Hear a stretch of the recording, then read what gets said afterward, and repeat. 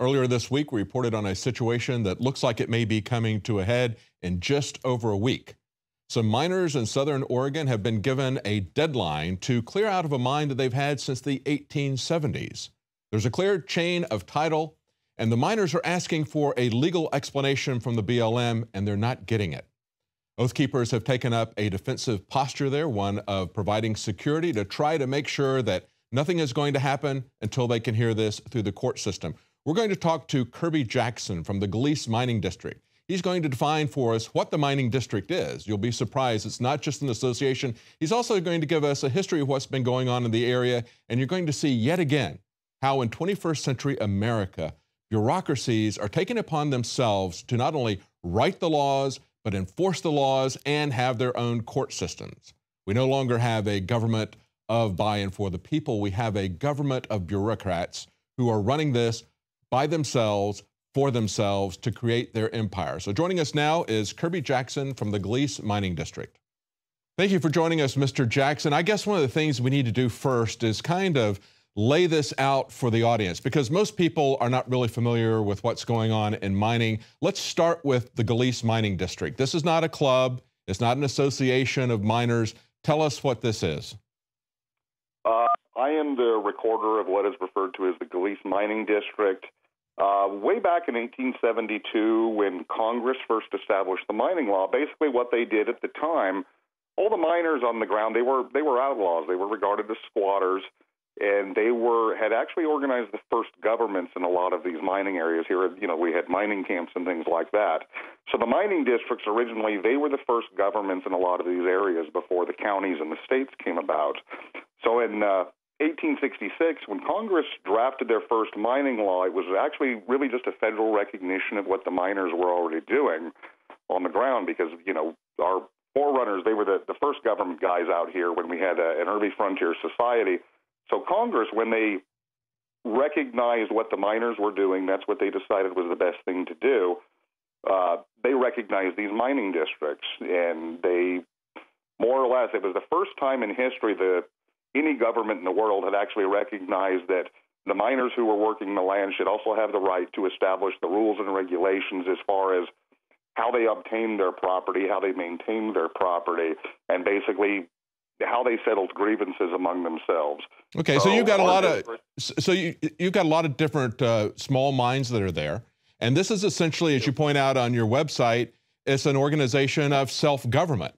But it's a little bit different for people because a lot of, uh, you know, what we're looking at in the cities and the counties, a lot of people don't really understand, just like they didn't understand at the Bundy Ranch, that there are different kinds of property rights. You're not saying that you own everything there. You've got mining rights, just like he had grazing rights or water rights. We have hunters who have rights to hunt as they're on the land. So there's all these different multiple uses that can exist on public lands at the same time, right? That's that's that's right. And basically, what the mining law did when it, when it was first established, the the main core of it was finally refined in 1872 in what is typically called the the General Mining Act of 1872, and that's that's not its proper name. It was uh, had a very long name Congress had that they gave to it, and that's not important. But basically, what they did was they they established the first rights of miners, and what they recognized at the time was that, like other settlers, such as homesteaders and uh, woodsmen who were making their living by uh, harvesting trees or they were getting rocks, they basically recognized that these set these early settlers they should have protection under the law.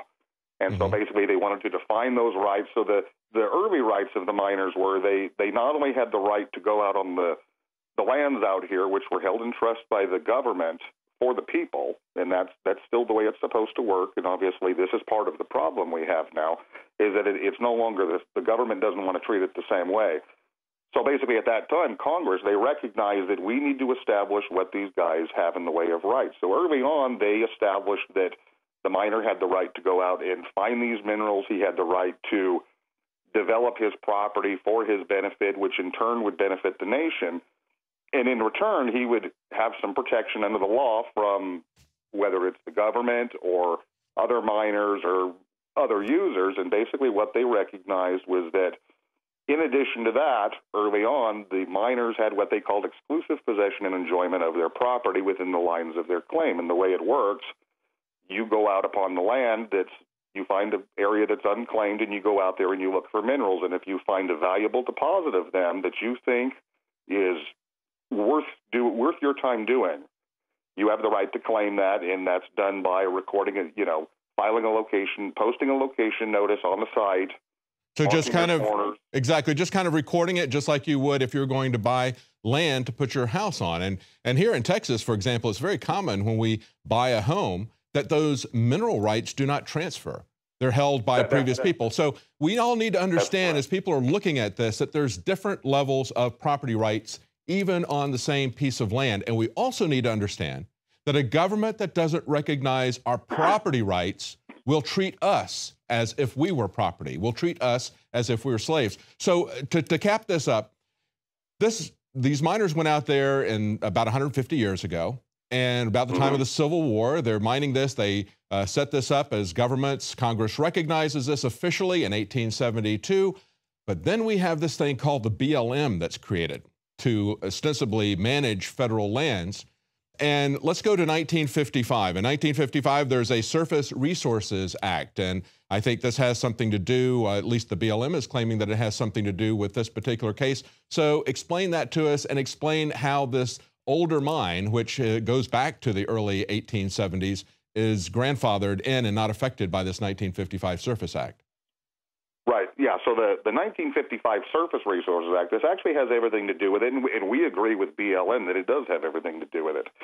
So in, in 1955, Congress was starting to recognize that there were an awful lot of people out there. They were using, they were basically what they were doing. They were abusing the mining law. They were using the mining law to build private hunting cabins to squat on land. And needless to say, there were a lot of conflicts with other people who wanted to, to, to use the public land system. So Congress decided to change the mining law. And what they decided to do was that all claims that were located by miners and filed after that time, July 23rd, 1955, they did not they had the right to use the surface, but they did not have a surface control or control of the resources, and basically full willy nilly uh, utilization of those surfaces, and uh, obviously the vegetative surfaces, especially, is what they were referring to. You know, so needless to say, the claims that were filed after that, they changed from the original meaning within the mining law, and that is something that still continues to this day. But they had to deal with the claims that were already there, and that is where this issue comes in. So Congress, they came up with three ideas, and these ideas they came up with. These were largely suggestions of the United States Forest Service and the Bureau of Land Management. And the three things they came up with were is that basically they recognized that they couldn't just tell these miners, hey, we're here now, you've had this all along, we're going to start taking your rights away. They didn't they didn't do that or they didn't intend to do that. Mm-hmm. And so basically they, they provided some mechanisms for the miners to either on one hand they could say I relinquish my surface rights back to the government, and I'm going to allow the general public to come out of my claimant camp here and, you know, get uh, cut firewood, things of that nature, subject to whatever the government's, whatever the agency's rules are. So that was one option. Another option was the miner could say, well, I don't really want to deal with this anymore, so I'm just going to give up my claim. That was the second option. Now, the third option and this was, was the option that was best suited for most miners if they were serious. They could preserve their existing rights. And how this was done, it was done by filing with the BLM or the U.S. Forest Service what was called a verified statement. And the verified statement was basically the miner informing the government, hey, I am over here and I'm going to maintain my rights. And what was done at that time the government then had the opportunity to go in and try to challenge those rights if they found there was a conflict with other uses, you know, such as timber harvesting or public recreation or wildlife management or something to that extent. And needless to say, there were avenues where the government could go down. They could challenge the validity of the claim and basically say, you're not really a miner. You know, you're somebody else. You're right. just a guy abusing the mining law.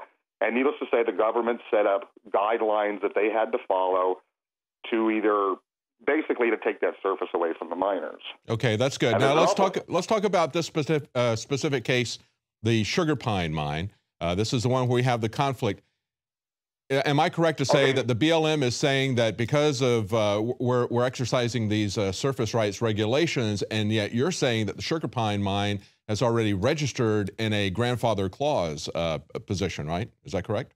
That's that, that's that's correct. So the the sugar pine is actually it was the the first hard rock gold mine discovered in the state of Oregon, and that was back in 1858, hmm. and it went through some assorted owners. Uh, between 1858 and 1876, and there was a lot of changes of ownership. And even though sometimes the, the mine wasn't being worked, there were miners who had various property interests interests on the claim, such as there were two arastas on the property. There were some ditches previous miners had dug. There was a water wheel on it at that time. And needless to say, a lot of those rights they were preserved. But on February 9th, 1876, uh, there were two men by the name of George Green and Dan Devilbiss, and they decided that they wanted ownership of the sugar pine, and they adhered to the mining law, and they did what they were required to do. They went up there and they discovered minerals, and they basically staked and recorded their claim. So they recorded that uh, 76 and they also arranged with the previous, you know, with some previous owners as far as those ditches and things of that nature, which were property or obtain them. So that is this mine has been active and has maintained a current chain of title mm-hmm. Since those two individuals, February 9th, 1876. Uh, Dan Devilbiss, who was a, a co-locator on that claim, he actually sold out to uh, George well, Green's brother. Uh, let's Dan. go back. Let's go back. I understand it's had, had a long chain of command. Let's go back to what just happened in March with the cease and desist order from the BLM. Tell us about what the BLM is saying, or can you? I, have seen from your press releases you're saying that you can't get any specific information from them as to what the legal basis is for them to say that the uh, sugar pine mine needs to cease and desist operation. Well, it, it's both. I'll, I'll, I'll, tell you what actually started this is the owners have been actively uh, have been under current ownership for three years. They've owned the mine for three years from the previous owner.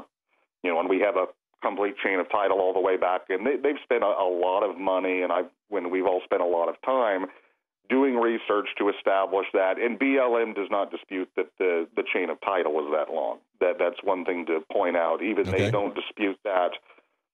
And basically, what happened was is uh, off and on George Backus, who was one of the co-owners, he's actually had fairly regular contact with BLM since he became the owner, and even even before, because there's quite a bit to the situation. And needless to say, he was in contact with them, and he had even spoken to employees such as Diane Perry at Medford BLM, which is our local BLM district here. And she was quite well aware that he was there and what his intentions were, and that basically, you know, George's background, he has a lot of uh, heavy equipment operation background as far as road building. That's what George used to do. Was he used to build logging roads until the timber industry was destroyed here. So, needless to say, they were very well aware of that. What kind of sparked this, even though George had actually maintained pretty routine contact with with uh, local BLM people, and I've you know spoken in the past to local archaeologists and stuff, and they were they were certainly aware of, of George's ownership, and you know I think they kind of had a basic idea of. Yeah, give us an idea because we're gonna gonna run out of time shortly here. Um, Kirby, give us an idea of what the BLM is saying. Certainly, they recognize that this is a very long chain of title. What are they complaining about here? Uh, basically, what happened is they actually there were two of their employees came out to the area and they actually ran into the mine caretaker, but opposed to going to his his front door and knocking on the front door and saying, "Hey, we're we're BLM guys. We're here. We have to do some work in the area." They basically disregarded that and they started poking around the camp and didn't identify themselves when they left. And the caretaker called the owners and he says, "Hey, I have these people. They're they're trespassers. What do you want me to do?"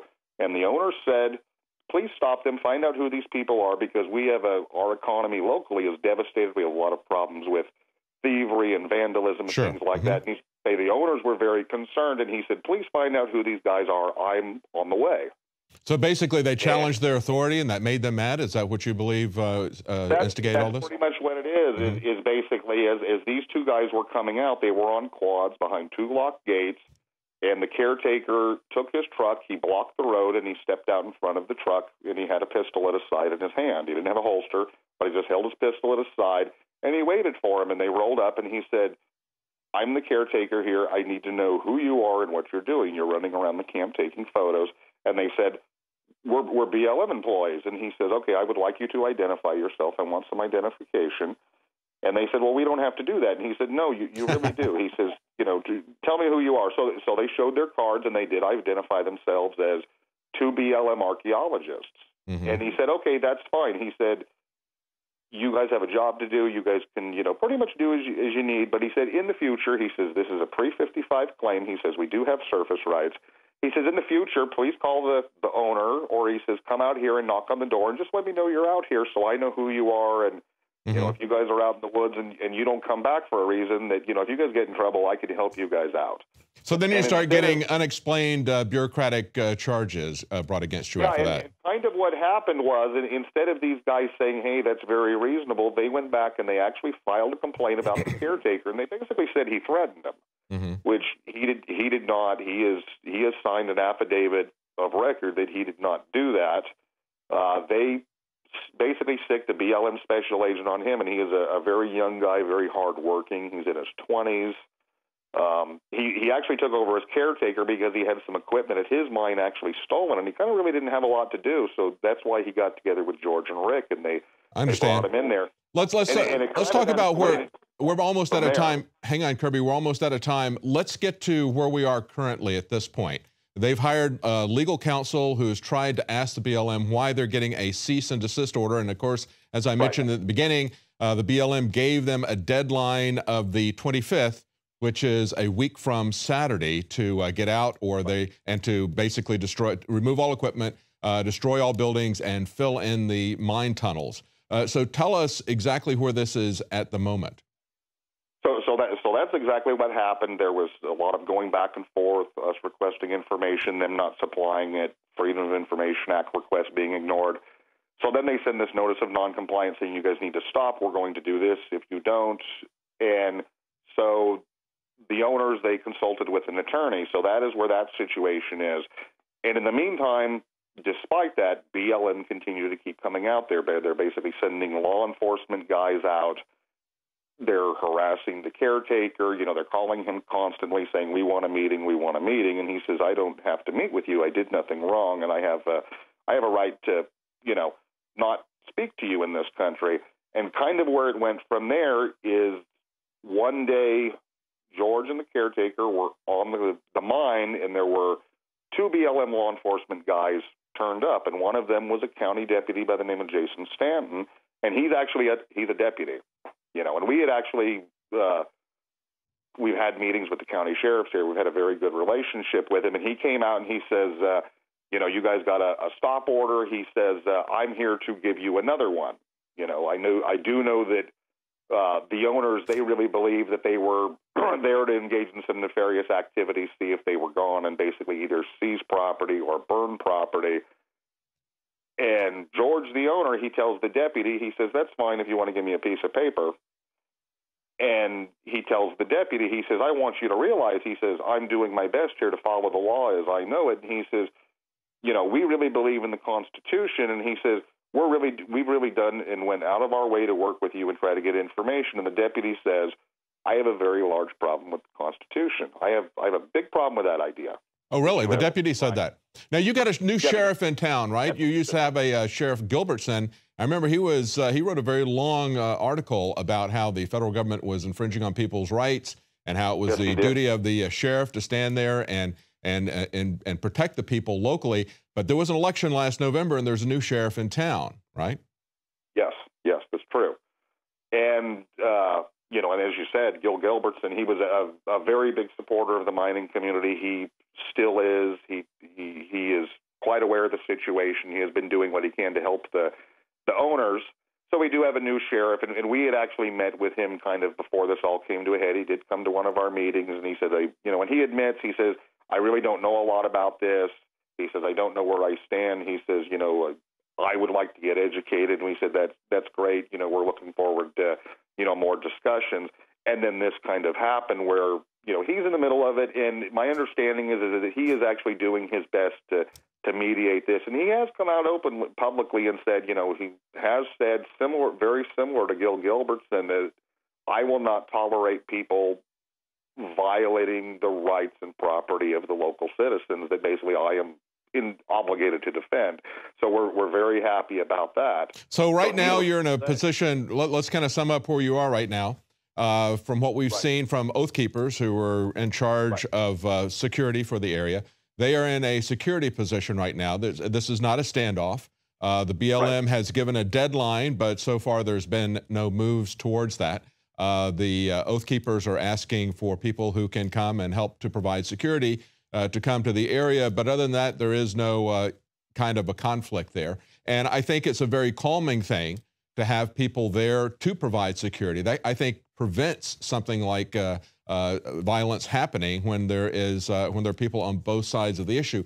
But let's look at the bigger picture for just a moment because we're just about out of time, Kirby. Okay when I was looking at this, I went back into uh, some of the archives of the area to see what was going on. I got some reports from the early 90s about how this 20 years ago, how the BLM was really cracking down on existing mines. And I think it's important for people who are listening to this. A lot of people think of uh, miners, they have a very negative view of them. They think they've, they've seen some of the destructive practices of open pit mining. Uh, that's not what's going on here. This is very small miners who have been working this in a more of a traditional uh, type of uh, posture. Is that correct? Uh, that's that's correct. They're actually working the property in a similar way to the, it would have been worked in, say, the 30s. You know, they have a, mm-hmm. a small excavator to clean tunnels. They have a cabin. They have a very small mill. They can basically go in, extract rock, dig it up off the ground with a shovel, put it in an ore car, run it out there, and run it down to their mill and do things like that. And they have some larger equipment to maintain roads and obviously deal with you know large quantities of rock that may be left in piles that need moved. Okay, so things nature. so things really haven't changed from the articles that I was looking at 20 years ago. But I thought it was right. interesting to see this LA Times article from 1994. They talked to a guy, his name was uh, Jeff Garcia or Jeff Garcia and uh, he was yeah. a uh, geologist from Berkeley, and he talked about how he had worked a mine there at that time in 1994. He'd worked it for 16 years, and basically they were making it impossible for him to continue operation. He had to pay a $300 permit because water was falling on his land and might cause runoff into the uh, into the river.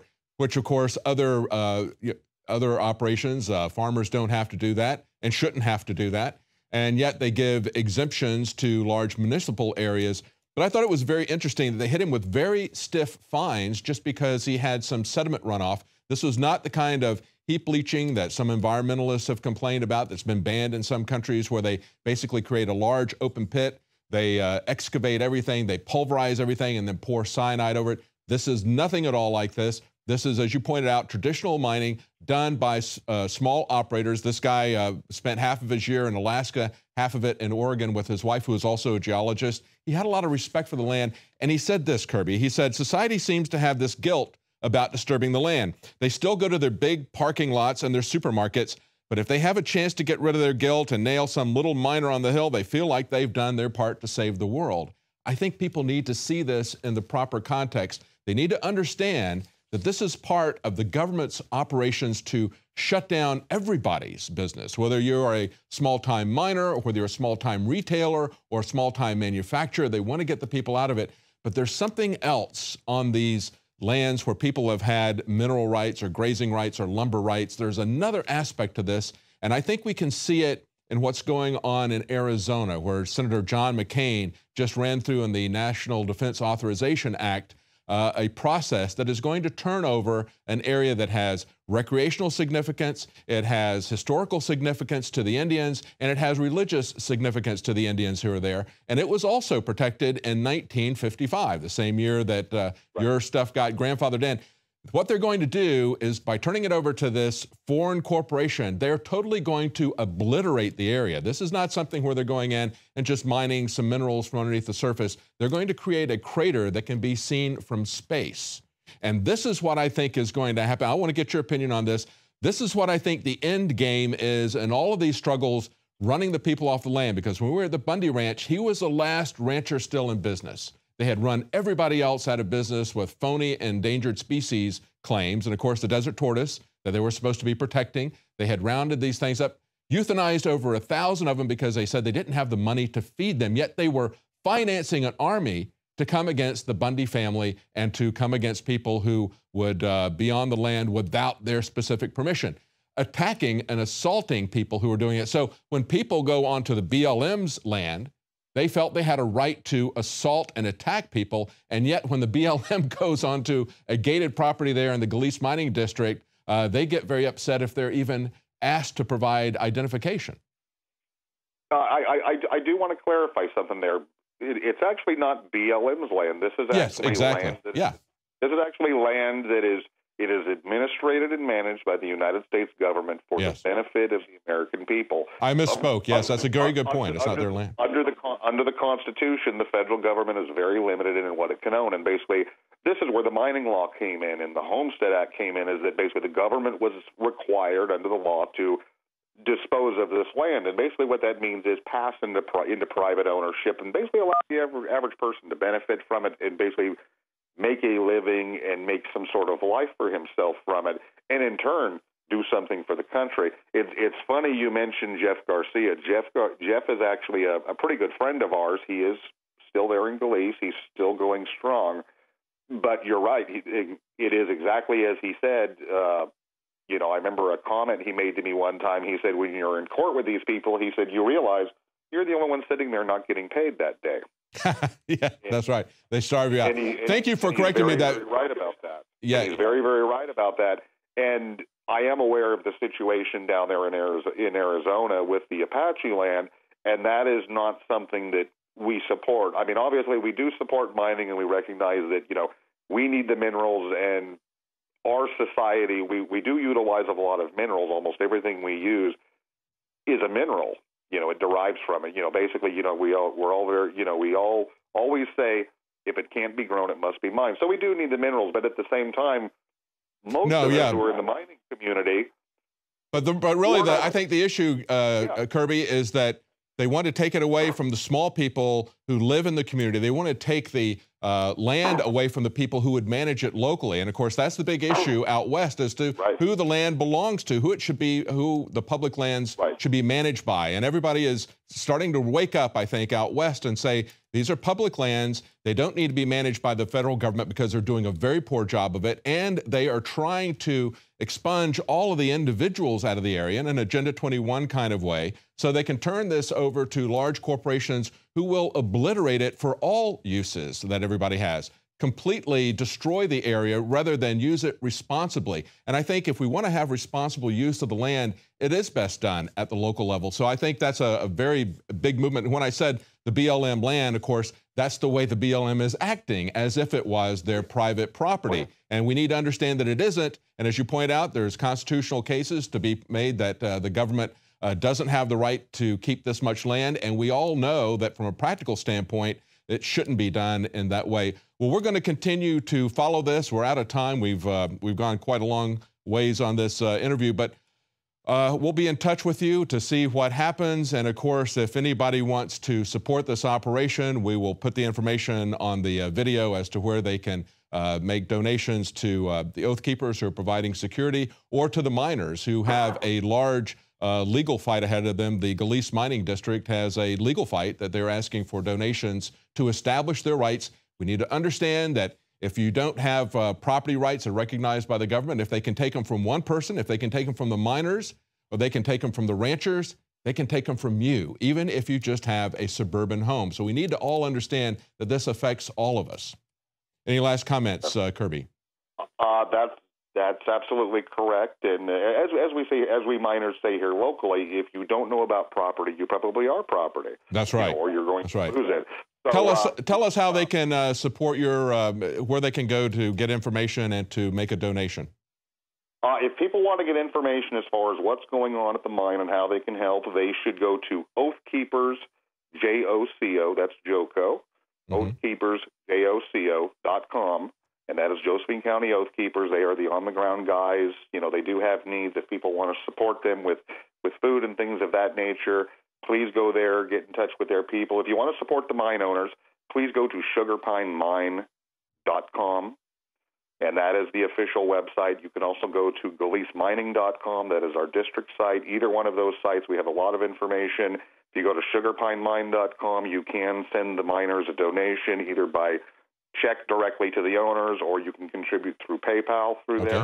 All right, great. And uh, uh, the the thing I really want to reiterate is uh, that you know, as I as I mentioned earlier, I'm, I'm very close to the two owners of this mine, and they're not the only miners in this area under attack. There's actually several others that they're having problems. They're not to this level, but these are the two guys who've stood up. I was actually on the mine uh, yesterday with one of the owners, who's a good friend of mine, and we were standing there. There's a very old stamp mill on the mine that's been there for many years, and they have a title to it. And we were looking at that, and uh, he said, you know, he says, as long as I'm alive, he says, that is always going to be there. You know, Well, I hope it. many, many I hope it is. I hope that uh, they will respect your property rights. I hope you prevail in court. I hope this goes through peacefully. But we'll keep an eye on this, and we'll be having uh, an interview with the Oath Keepers. We are trying to establish contact with couple of individuals there that we'll have on for interviews in the next couple of days. Thank you so much for joining us, Kirby Jackson with the Galice Mining District, and of course, what they're trying to do is get a legal hearing to go through the legal process to stop the BLM from acting precipitously by giving them a deadline before they've given them answers, before they've had their hearing, before they have taken this through the court. And that's the important function that's being done now by the Oath Keepers, essentially setting up security to let them know that there's somebody there in case they're going to uh, try to storm the area. Hopefully, that will stop that from happening so this can take its way all the way through the court.